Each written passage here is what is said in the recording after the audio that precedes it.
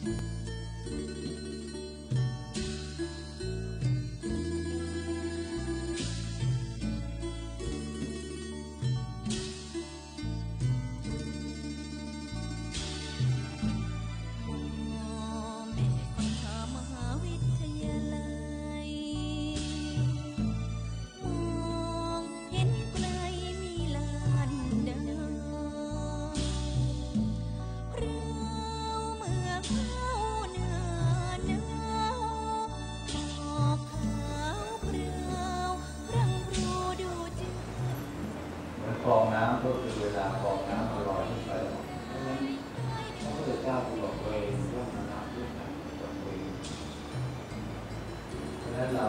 จงสลับในสิ่งที่ควรสลับจงให้อภัยในสิ่งที่ควรอาตมาก็ขออนุโมทนาที่สุดจิตที่สุดจิ